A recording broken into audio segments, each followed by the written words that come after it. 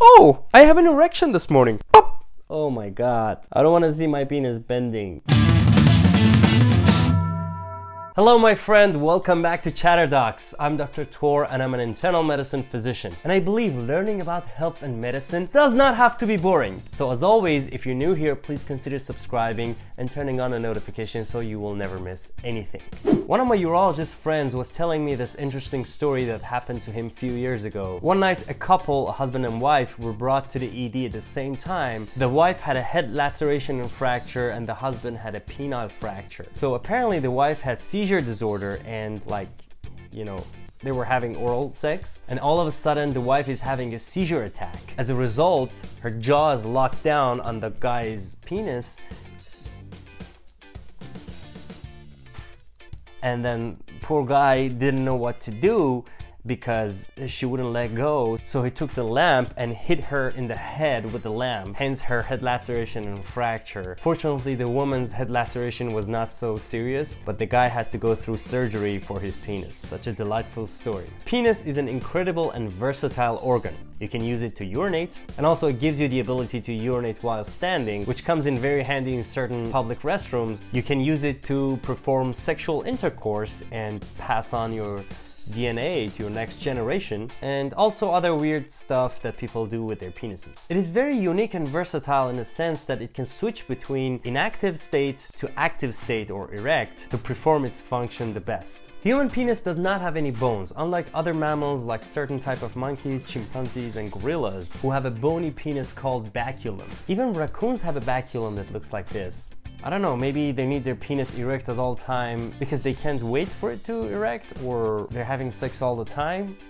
I don't know. But anyways, back to human penis. There's three cylinders in human penis. Two of them are called corpus cavernosum or corpora cavernosa in plural form, which contain a spongy tissue that can erect and enlarge if the blood flow through them and the third cylinder contains urethra or the urine pipe. Now what is penile fracture?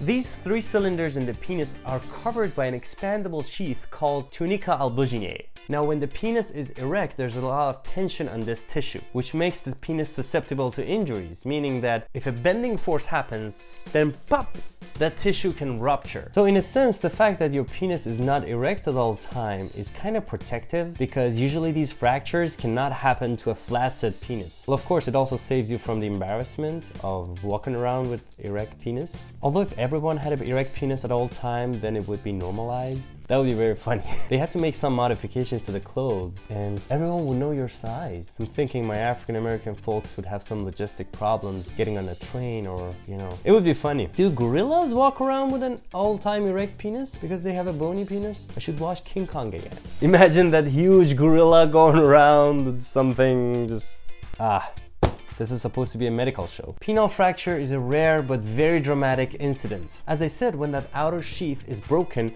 blood starts oozing around and it usually makes a big bruise on the penis, which makes it look like an eggplant. If this happens to you, my friend, I'm sorry, but this is an emergency. You should seek help. Now, what are the symptoms of penile fracture and how would you know that you have it? Well, first off, you will hear a popping sound or snapping sound. Secondly, you'll have pain and then you'll see that you lose erection and then your penis start having a big bruise on it. You could also see how it's bending. Oh my god. It's just too painful to talk about. I hope this does not happen to any of us, but better be prepared. You could also see blood oozing out your penis and you could have difficulty urination or bloody urine if your urethra is also ruptured. How does penile fracture usually happen? As I said, blunt trauma to a flaccid penis usually won't cause penile fracture, but when it's erect, the stretch and tension makes it susceptible to trauma. It usually can happen in a vigorous sex when the woman is on top, aka cowgirl or the reverse cowgirl, and then the penis slips out and the woman sits on it with all her weight.